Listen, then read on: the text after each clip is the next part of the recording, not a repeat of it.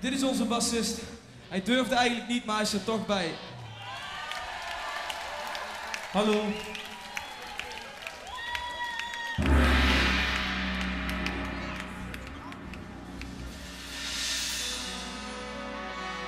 Dit heet United Scum. Voor onze supporters.